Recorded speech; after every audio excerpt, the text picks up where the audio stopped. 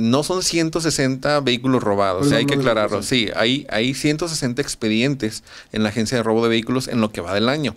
Significa que hemos tenido aproximadamente un 50% de esos 160, aproximadamente 80 vehículos robados aquí en Frenillo.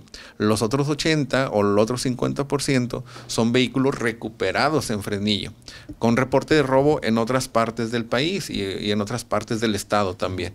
Entonces, bueno, no son 160 robos de vehículos, son 160 expedientes. Y por otra parte, también anunciarles también la, eficiencia con la que ahora también ya están actuando los policías preventivos municipales y también la Policía Federal Preventiva. Eh, se encuentran detenidas dos personas más el fin de semana por robo de vehículo, robo a mano armada, hay que decirlo, y, la federal fue quien capturó estas, a estas dos personas la policía preventiva nos detiene y presenta también a otros, a otros autores materiales probables de robo de vehículo que también van a ser consignados en este día.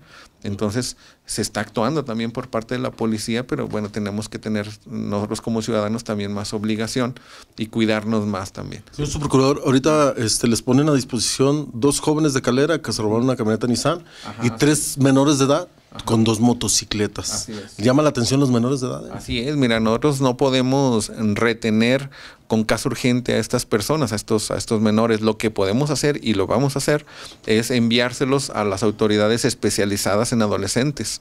Estos menores tienen derechos, desde luego, eh, derechos constitucionales. Y bueno, nosotros tenemos que atender a esos, a esos derechos constitucionales y dejarlos a disposición de las autoridades especializadas competentes en este Sin embargo, lo que yo precisaba es que llaman la atención es que menores de edad se están involucrando sí, en estos luego. robos. Desde luego, ya lo decía el procurador el, el día de ayer, cuando se hizo la presentación del Centro de Justicia para Menores ahí en Zacatecas, lo decía, cada vez más estamos teniendo la participación tanto de mujeres, mujeres jovencitas, mujeres adultas y de jóvenes también, de prácticamente son niños, para la ley son niños estas personas, ¿sí?